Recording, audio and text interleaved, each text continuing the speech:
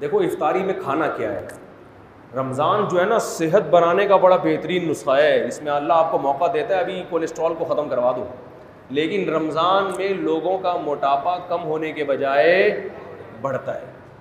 क्योंकि इफ्तारी में तबीयत से तेल वाले पकोड़े फोड़ते हैं। तबीयत से बिरयानियाँ खाई जाती हैं, चाट और ये और वो। और वो एक ही दम इतना खाया जाता है कि आम दिनों में डिवाइड करके खाते थे, थोड़ा गनीमत थी। अब एकदम फोड़ते हैं। तो सेहत बनने के बजाय बिगड़ते और रमज़ान में मौतें भी होती हैं बहुत। तो इसलिए रमज़ान का अल्लाह ने जो आपको पैकेज दिया है ना, इफ्तारी में आप खाएँ क्या? हटो बच्चों, हो जाएँगे आप। आप 15-20 दिन मेरी बताई हुई खुराक अगर खाएँगे 15-20 दिनों के बाद आपको ऐसा लगेगा कि मुफ्ती साहब जो चार शादियों पे बयान करते थे, वो गलत नहीं कुछ उनमें हकीकत है। वो बातें आपको जो भी बुरी लगती है ना, वो अच्छी लगना, बोलो, शुरू, जवान हो जाएँगे आप। एक काम आपने ये करना है कि ऑयल को शहरी इफ्तारी से निकालना है कुकिंग ऑयल क्या करना है? बोलते क्यों नहीं? ऑयल को निकालना जैतून का तेल एक दो चम्मच इस्तेमाल कर लें आप। समझते हो? देसी घी भी नहीं। घी भी छोड़ने फ़िलहाल थोड़े दिनों के जैसे देसी घी वैसे अच्छी चीज़ है, लेकिन छोड़ने फ़िलहाल। दुनिया छोड़ने से पहले बेहतर है कि आप हर किस्म का घी वो जैतून का तेल दो तीन चमचे पी लिया करें। 24 घंटे में। दूसरा काम आपने ये करना है कि रोटी चावल को कम करें। गंदुम को भी और बोलो, ना शहरी में गंदुम बहुत ज़्यादा फोड़नी है और ना इफ्तारी में, ना रात को किसी गंदुम भी और चावल भी। समझते हो कि नहीं समझते हो? ज़्यादा जो आपने फोकस करना है ना, वो खजूर को, खजूर बहुत पावरफुल चीज़ है। पेट नहीं भरता उससे। मगर जो काम रोटी करती है ना और जो एनर्जी चाहिए, वो खजूर से हमें ज़्यादा मिलती है। हमारे यहाँ इफ्तारी में खजूर के साथ इतनी ज़्यादती होती है कि एक खजूर की सुन्नत समझ के रोज़ा इफ्तार किया और फिर डायरेक्ट आ गए बिरयानी पे, कोल्ड ड्रिंक पे। अबे ये पेट भर के खाओ यार। तबीयत से खाओ, इस वक्त हज़म भी होगी, जुज्वे बदन भी बनेगी। आम तौर पे खजूर आसान नहीं होती हज़म करना। खजूर आसानी से कितना कुछ खाया हुआ होता है, खजूर के लिए मैदा तैयार ही नहीं होता। इफ्तारी में आप तजर्बा करके देख लें, जितनी भी खजूरें खा लें, आपका पेट ख़राब नहीं होगा। तो ज़्यादा खाएँ खजूरें। और ये कोल्ड ड्रिंक कोल्ड ड्रिंक को एक तरफ़ रखें आप। अगर आप, अव्वल तो शरबत, मैं तो कभी भी इफ्तारी में शरबत नहीं पीता, क्योंकि इफ्तारी में तजर्बा है कि शरबत अगर आपने पी लिया या पेट भर के रोटी खा ली तो मगरिब पड़ते ही आप टन हो जाते हो। किसी काम के तरावी के काबिल तो आप रहोगे। टन नाटन बस। मैं हूँ सुन्नी टन टनाटन वाला हिसाब। मैं हूँ कादरी सुन्नी टन टनाटन वाला हिसाब बन जाएगा। ना तरावी पढ़ी जाएगी, ना पढ़ाई जाएगी। पीछे देखो, लोग तरावी में पहली रकत से ही झूमना शुरू कर देते हैं, सो रहे होते हैं। ये वो लोग हैं जिन्होंने इफ्तारी में रोटी पेट भर के खाई होती है, चावल पेट भर के। अगर ये चावल या रोटी से पेट ना भरते, खजूरें खाते, या और कोई चीज़ खा लेते, मकई खा लेते लोबिया की चाट खा लेते, लोबिया खाएँ, उसकी चाट बना के, वो मज़े की भी होती है। सफ़ेद चने भी खा लें, वो भी ठीक है। कार्बोहाइड्रेट जो है ना, वो कम होना चाहिए। कार्ब वाली चीज़ें क्या होनी चाहिए? ऐसी चीज़ें जिनमें निशास्ता होता है, मिठास होती है। जैसे रोटी में तो बहुत कार्ब है ना, चावल में बहुत कार्ब है, ये कम खाएँ।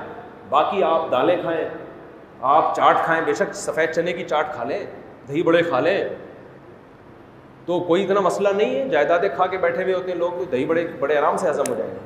तो यानी कुछ भी खा लें आप इफ्तारी में, बेहतर है कि खजूर ज़्यादा खाएँ, एक सेकेंड। लेकिन आपने इफ्तारी में रोटी और चावल कम दो तीन, चार दिन आपको टेंशन होगी, उसके बाद आदि हो जाएँगे, फिर मज़ा आना शुरू होगा कि यार क्या तबीयत हल्की फुल्की आँखों में रोशनी तेज़ हो जाएगी आप तो इफ़, शहरी में भी आपने रोटी और चावल को कम करना है, और ऑयली चीज़ों को, और इफ्तारी में भी रोटी चावल को आपने कम करना है। जब भूख लगे लोबिया की चाट खा ली, या सफ़ेद चने की चाट खा ली, या काले चने की चाट खा पकौड़े भी इतना कोई मसला नहीं करेंगे इनसे पकौड़े भी खा। बेसन है ना, वो भी इतना मसला नहीं करेगा पकौड़ा।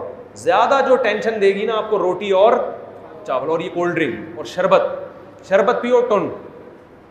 जिस खुराक को खाने के बाद इंसान टन हो रहा है ना, सुन्नी टन टनाटन बन रहा है तो समझ लो ये खुराक आपकी बॉडी में फैट पैदा कर रही है। ये खुराक क्या कर रही है आपकी बॉडी में?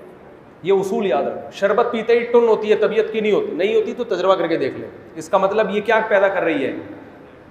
फैट ये बॉडी को मोटा कर रही है। रोटी खाते ही तबीयत क्या हो जाती है? एकदम आदमी को गनूदगी ये क्या कर रही है? फ़ी नफसी, ज़रूरी है रोटी। लेकिन आपको मैं रमज़ान का पैकेज दे रहा हूँ। ठीक है ना? और चावल को भी आधी रोटी खा लें, बस बहुत है। बाकी दूसरी चीज़, फल, फ्रूट को फोकस गोश्त खाएँ तबीयत से। अल्लाह ने अगर पैसा दिया, गोश्त खाएँ, मछली खाएँ, गोश्त खाएँ, ये चीज़ें खाएँगे, फ़ायदा होगा, नुकसान नहीं होगा। लेकिन रोटी, चावल अगर आपने उसी स्पीड से फोड़ना शुरू किए, जिस स्पीड से आप खा रहे हैं तो रमज़ान आपको कोलेस्ट्रॉल का तोहफ़ा देकर जाएगा फ़ैट चढ़ा के जाएगा। आँखों की बीनाई ख़राब हो जाएगी आपकी, शुगर की बीमारी पैदा होगी, हार्ट अटैक के ख़तरे, बहुत से लोग इफ्तारी करते ही लेटे तो उठे पुलिस भी आके उठाया, पुलिस से भी। ऐसे कई केसेस मेरे सामने आए हैं कि शहरी खा के सोए थे और पुलिस भी उनको नहीं उठा। क्योंकि शहरी में जिस किस्म की चीज़ें खाई हैं, उनके बाद अगर बंदा उठ जाए तो ये हैरानगी की बात है कि आप उठे कैसे? आपने तो उठने का कोई ऑप्शन खजला खा रहे हैं शहरी में, इतना ऑयल से भरा हुआ होता है, पीनिया खा रहे हैं, और ये ऑयल भी मार्केटों का ऑयल जिसका पता नहीं है कि ये किस चीज़ का तेल है। तो इसलिए थोड़ा सा अपने आप को तमीज़ से ले आए ना, लेमन पिया करें और विटामिन सी मिलता है तो इससे आप देखो ऐसे निथर जाओगे, हटो बच्चो हो जाओगे आप। ईद की चाँद चाँद आपको सबसे पहले नज़र आएगा। आपकी आँखें इतनी तेज़ हो जाएँगी, सबसे पहले आपको चाँद नज़र आएगा, आप बोलोगे, वाह भाई, वाह सुबह तो बहुत फ़ायदा होगा, लेकिन एक हफ़्ते की प्रैक्टिस करनी पड़ेगी इसके लिए। और इससे कोई कमज़ोरी नहीं होगी। ये रोटी ख़त्म नहीं करनी है, याद रखो। कम करनी है। ख़त्म करने से नुकसान होगा। चावल भी ख़त्म नहीं करना है। बहुत कम करना है। बाकी गोश्त को ज़्यादा फोकस करना है। दूध पिए, गोश्त खाएँ, खजूरें खाएँ और शरबत ना पिए। चीनी का इस्तेमाल बोलो। बिल्कुल लाइफ से वैसे ही चीनी निकाल देनी चाहिए। तो ये बड़ा ख़ानदानी पैकेज है बड़ा मज़ा आएगा आपको। जी क्या कह रहे हैं आप? देखो एक बात याद रखो एक टाइम खाया करो। इफ्तारी में भी खा रहे हैं फिर मगरिब की नमाज़ पढ़ के भी खा रहे हैं। ये पागलों वाली हरकत है। वो तो बेहतरीन। ये तो बहुत अच्छा काम है। मेरा तो मेरी तो आदत है। हाँ मुझे पता है। मेरी तो आदत है, मैं हमारे यहाँ पंद्रह मिनट बाद मगरिब की नमाज़ होती है, मैं इफ्तारी में खा लेता हूँ, जितना खाना होता है। उसके बाद बस ख़त्म। बहुत अगर कभी तरावी के बाद भूख लगी तो खा लिया, वरना नहीं।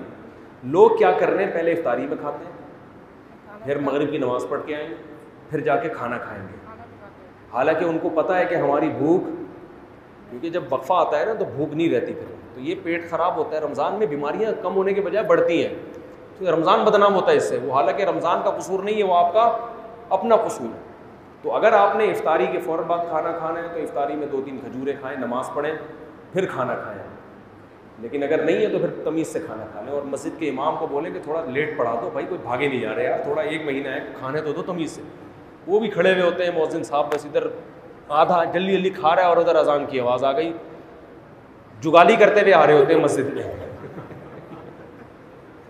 मैंने तो देखा चलते चलते दस्तरखान से पकौड़ा पकड़ रहे होते हैं जमात भी पढ़नी और चलते चलते हर एक पकौड़ा। तो यहाँ मगरब की नमाज़ में ताखिर जायज़ नहीं है, लेकिन एक औज़र है। तो हम तो कोशिश करते हैं अजान और मगरब में कम अज़ कम पंद्रह पंद्रह मिनट में भी जिस कम वक्त का पेट ना भरे ना तो ये पेट नहीं है, ये लालू खेत है। ये कुछ भी खाएगा, इसका पेट नहीं भर सकता। इसको फोकस करें, बहुत फ़ायदा होगा, इंशाल्लाह। सेहत बड़ी ख़ानदानी हो जाएगी। अल्लाह अमल की तोफ़ी अता फरमाए।